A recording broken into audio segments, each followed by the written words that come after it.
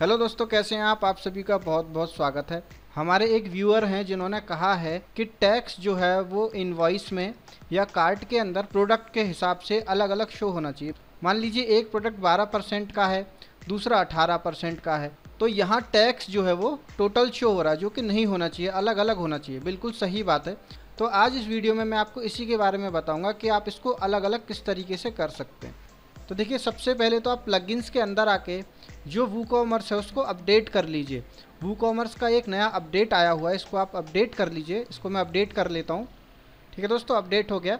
तो आप देख सकते हैं, इसमें जो है advance flat rate shipping WooCommerce भी अपडेट हुआ है। तो अभी मैं जाऊँगा सीधे वू कॉमर्स में सेटिंग्स के अंदर। यहाँ पे मैं चूज़ करूँगा टैक्स अब देखिए टैक्स जो है वो एक जगह पे इसलिए शो हो रहा है क्योंकि हमने हर जगह पे टैक्स का नेम जो है वो सेम दिया है। हर जगह पे हमने जीएसटी जीएसटी करके दिया है। तो हमारा जो सिस्टम है, वो एक जगह पे सारे टैक्स को मर्ज करके दिखा रहा है।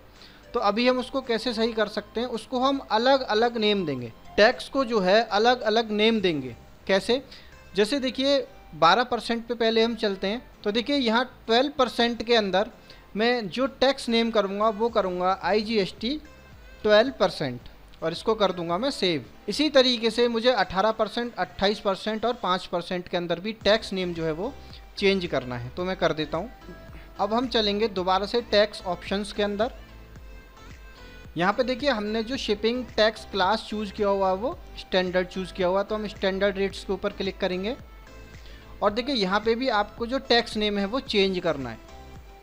आप अपने हिसाब से कोई भी टैक्स नेम कर सकते हैं, बस इस बात का ख्याल रखिएगा कि जो आपका बायर है उसको सही तरीके से समझ में आ जाए कि टैक्स जो लगा हुआ है, वो किस चीज़ का लगा हुआ है।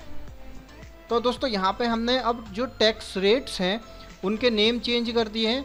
इसके अलावा जो हमने शिपिंग में टैक्स लगाया हुआ उसका भी हमने नेम चेंज कर दिया। तो अभी हम सीधे आ जाते हैं कार्ट के अंदर, इसको हम रिफ्रेश करते हैं। अब देखिए, यहाँ पे आप देख सकते हैं जो टैक्स है, वो अलग अलग हो गया है। अब शिपिंग का जो टैक्स है वो 18 परसेंट बनता है चौदह रुपये चालीस पैसे। 28 परसेंट प्रोडक्ट के ऊपर टैक्स लगाया वो है उनचास रुपये और जो 18 परसेंट लगा है वो है चौबीस रुपये तीस पैसे। तो इस हिसाब से आप अलग अलग टैक्स जो है वो कर सकते हैं। इसके अलावा दोस्तों मैं आपको एक चीज़ और दिखाता हूँ इसके अंदर। हम इसको प्रोसीड टू चेकआउट करते हैं। तो देखिए यहाँ पे एक एरर है। एरर क्या है? कि हमने फ्लैट रेट प्रीपेड चूज़ किया हुआ है, जो कि एट्टी रुपीज़ है। लेकिन यहाँ पे सीओडी ऑप्शन आ रहा है जो कि नहीं आना चाहिए। ये ऑप्शन हमें इस तरीके से सेट करना है कि जब बायर सीओडी चूज़ करे, तभी सीओडी इनेबल हो, वरना सीओडी इनेबल ना हो। प्रीपेड में प्रीपेड आए और सीओडी के अंदर सीओडी आए। तो इसको हम किस तरीके से सेट करेंगे? वरना बायर यहाँ पे क्या करेगा कि फ्लैट रेट प्रीपेड चूज़ कर लेगा और आपको सीओडी में ऑर्डर प्लेस कर देगा।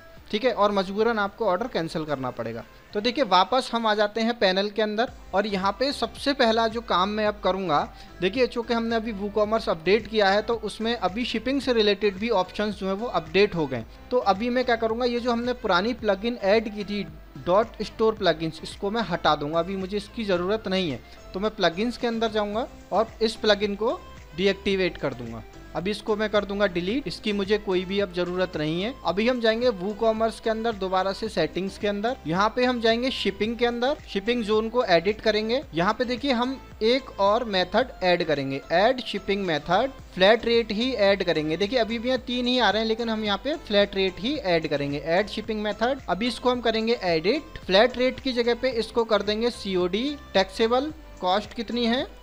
मान लीजिए सीओडी में मैं सौ रुपये लगा रहा हूँ, सौ रुपये तो देखिए ऑटोमेटिकली फार्मूला आ गया इस फार्मूला को मैं चूज़ कर लूँगा और इसको मैं सेव चेंज कर दूँगा। अब हम सीधे जाएँगे पेमेंट्स के अंदर। यहाँ देखिए ऑप्शन है कैश ऑन डिलीवरी इस पर हम क्लिक करेंगे। यहाँ पे जो मेथड है, इसको हम चेंज करेंगे। तो इसको हम हटा देते हैं और मेथड देखिए, यहाँ पे आ गया हमारा सीओडी पहले इस तरीके से ऑप्शन नहीं आता था। इसको हम ऐड कर देंगे और इसको कर देंगे सेव चेंजेस तो अब देखते हैं चेक करके कि पैनल जो है वो चेंज हुआ या नहीं हुआ। तो इसको हम रिफ्रेश करके देखते हैं। तो देख सकते हैं आप दोस्तों, ये चेंज हो गया है। आप देखिए फ्लैट रेट प्रीपेड में जो सीओडी का ऑप्शन है वो गायब हो गया है।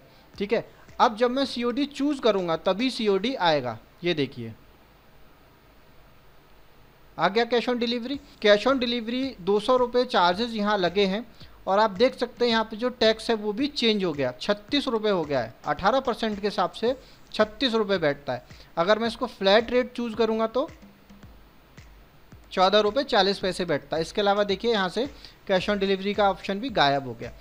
तो इस तरीके से जो भी एरर्स हैं अपनी वेबसाइट में, उसको सही कर लीजिए और जो टैक्स विजिबिलिटी है, उसको भी आप इस तरीके से सही कर सकते हैं और इम्प्रूव कर सकते हैं। होप दोस्तों आपको वीडियो पसंद आई होगी। अगर पसंद आई है तो लाइक करिए शेयर करिए सब्सक्राइब करिए। इसके अलावा अगर आपका कोई भी सवाल हो तो आप हमारा ग्रुप ज्वाइन कर सकते हैं। ग्रुप का लिंक मैं वीडियो के डिस्क्रिप्शन में प्रोवाइड करा दूँगा। Thank you